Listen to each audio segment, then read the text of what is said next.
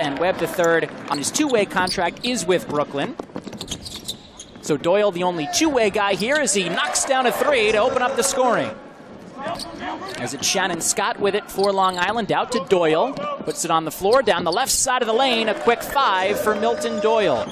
And Long Island will go back to work. It is Scott. Up top to Mitchell, swung to Doyle for another three, and he is red hot.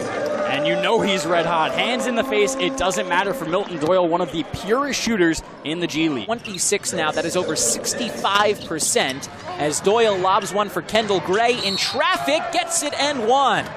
Take a look at the replay here. Doyle, an in and out move, lobs it over the top. Kendall Gray fighting through three 905 defenders. And now for Milton Doyle.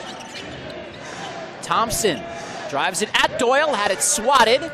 Loose ball picked up by Ouattara for Murphy. And they have to pull it out and slow it down. Now Doyle bouncing for Akil Mitchell with a lane and finishes with the left. Nine, Long Island with a chance for a two for one if they hurry here. Doyle for a cutting Shannon Scott, pretty feed. Senglin kicking out to McCall and now Kendall Gray. Out to Doyle for another three. Got it. On fire, Milton Doyle. He can shoot it from anywhere tonight, and he makes them pay. Comes to Edwin.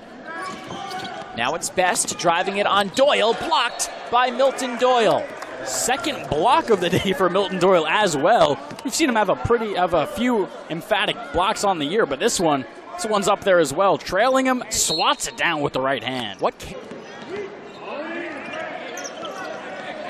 Doyle bouncing for Murphy.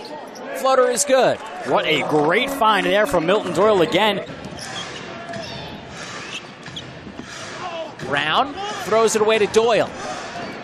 Milton Doyle starting the break. The crossover scoop shot is good. Eight to shoot. Scott out to Doyle. Good look at a three. It's good. 42. Milton Doyle staying hot. Point lead. Only fitting that he did it on a three, the way he's been knocking him down from downtown.